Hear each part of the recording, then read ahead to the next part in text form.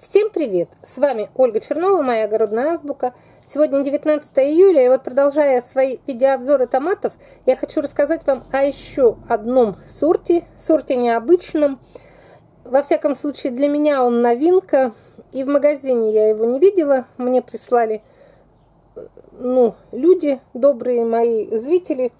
Это индийское мясо. Ну, во-первых, он сразу необычен тем, что он у него вот такая расцветка необычная. Я сейчас о нем расскажу, но я сразу вам говорю, что все мои вот эти вот, вся информация, все мои познания, это только теоретические, потому что выращиваю его впервые, но по отзывам других зрителей все говорят, что этот сорт прекрасный, заслуживает внимания и заслуживает того, чтобы его вырастить на своем участке хотя бы один раз для пробы.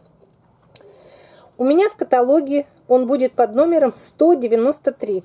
Это индетерминантный сорт, высота метр восемьдесят. У меня вот в теплице он вырос до самого-самого потолка, уперся в потолок.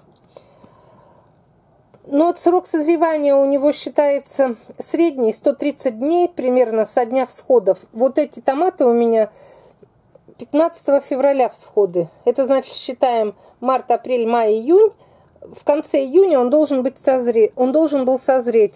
Вот он так и созрел, я просто долго не снимала, видите, он даже уже у меня лопнул. Вот сегодня надо срочно снимать все их. Но сроки он свои оправдывает, как вот он есть 130 дней примерно, так он и созрел. Вес 300-400 грамм. У плодов ребристость у плодоножки указана.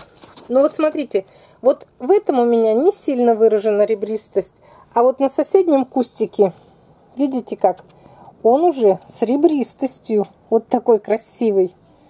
И причем форма, вот видите, один вроде как немножко пофигурнее, а на этом же кустике другие уже менее ребристые, как бы кругленькие. Ну так что может, может быть ребристый, а может быть не ребристый. Вот это вообще вот почти идеальной формы. Потом, что еще о нем написано, что кожица плотная, семян очень мало и мякоть одно сплошное мясо. Но это мы узнаем уже во время дегустации, потому что я говорю, что ни разу его не выращивала, вот это моя новинка. Еще он есть под названием говядина на кусту, потом еще какое-то, потому что эти все сорта, они не наши, и вот из-за сложности перевода они гуляют у нас по России под разными названиями. Но вот у меня он под названием «Индийское мясо». Примерно такой же. Сейчас перейдем вот в другой ряд. Есть у меня крымский черный.